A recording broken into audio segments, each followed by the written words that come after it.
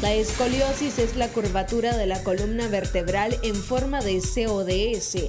Existen distintos grados de gravedad y tipos según la zona afectada. De entre ellos, la escoliosis lumbar es la más común. Se trata de aquella que presenta una curvatura en la zona baja de la espalda.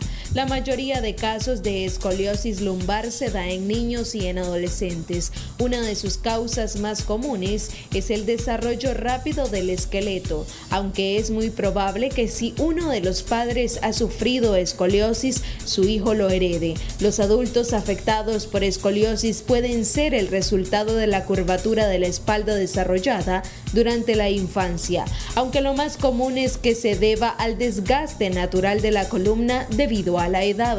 Quédate con nosotros en la siguiente entrevista y conoce un poco más de este tema.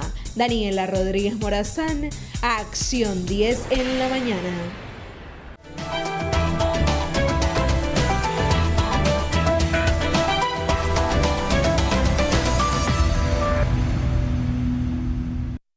Gracias Daniela Rodríguez Morazán por introducir nuestro tema del día de hoy para abordar eh, la escoliosis lumbar. Se encuentra conmigo el doctor Alejandro Díaz de Clínica Sanarte. Bienvenido, gracias por estar aquí en Acción 10 en la mañana. Doctor, ya veíamos un poco eh, la explicación o el, significado de esta enfermedad, de este padecimiento. ¿Cómo es que se diagnostica? ¿Cuáles son esos eh, exámenes o revisión que deben de hacerse para poder detectarla y diagnosticarla. Claro que sí. Bueno, en primer lugar, pues dar siempre gracias al Señor por estar acá, por poder compartir con la familia en casa, con ustedes acá en Canal 10. Y el tema de escoliosis lumbar y torácica, también eh, podemos abordar un poquito de la escoliosis torácica. El modo de, de diagnosticarlo, si es por exploración física, es una evaluación de la postura del paciente en distintas actividades, por ejemplo, al estar sentado, al realizar flexión, es decir, cuando la persona se encorva hacia adelante. Hay una prueba muy sencilla en la cual nosotros ponemos al paciente de pie y evaluamos su postura, en la cual podemos encontrar una curvatura lateral, que es una escoliosis, pero cuando la persona hace flexión, es decir, baja el tronco, ¿verdad?, hacia adelante, esa postura eh, se corrige. Entonces ahí estaríamos hablando de una escoliosis postural. Pero si la persona mantiene esa escoliosis, esa curvatura lateral eh, de manera en las dos posiciones, tanto de pie como en flexión de columna, nosotros podríamos estar hablando de una escoliosis estructural. ¿Puede o se puede curar esa escoliosis?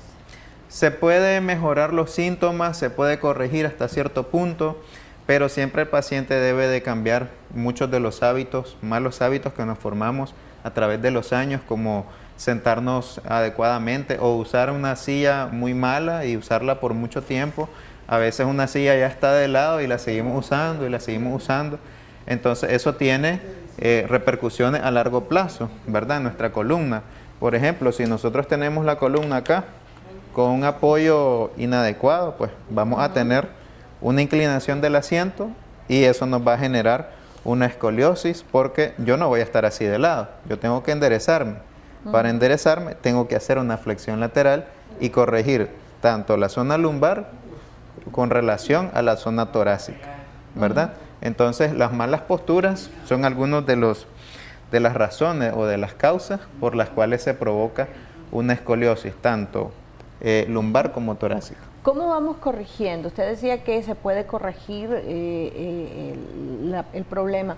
Eh, ¿Se hace con algún tipo de, masaje, de tratamiento? ¿Hay ahora equipos tecnológicos que ayudan a esto?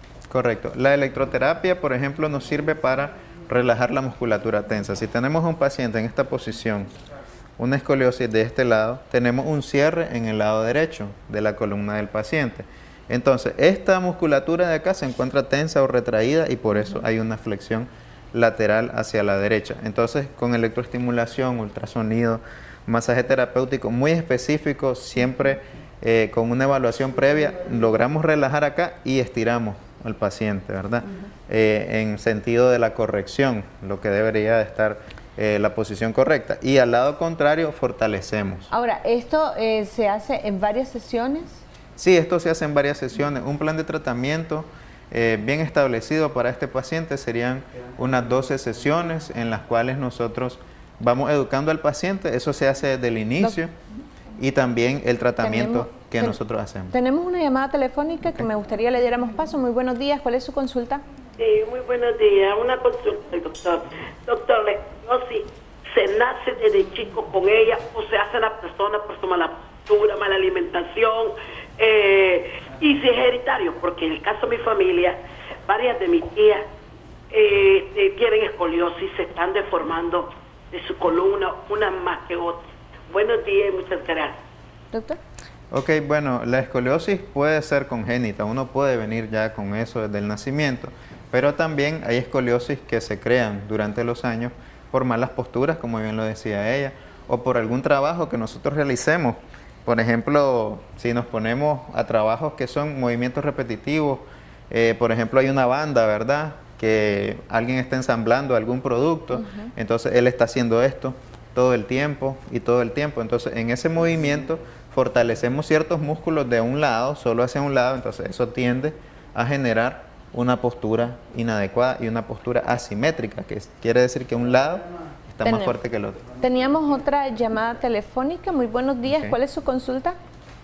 Buenos días. Este, quisiera saber que a mí me da un dolor eh, aquí en la columna y, me duele mucho este, estar sentada, parada caminar, todo eso, que, que me podía regalar una consulta. Como no, nos deja por favor sus datos, su nombre completo y su número telefónico para que el doctor se ponga en contacto con usted. Estos dolores de espalda frecuentes que no les permite a las personas eh, estar en una sola posición, eh, ¿podrían tener algo que ver con la a otra afectación? Bueno, hay distintos factores o distintas eh, patologías que nosotros podemos encontrar en una columna. Una es la inclinación lateral, otra es rectificaciones lumbares, otras son las hernias discales, que en este caso pues traje acá este modelo en el cual podemos observar que el disco intervertebral, que es este rojito que vemos acá, es un disco amortiguador, ¿verdad?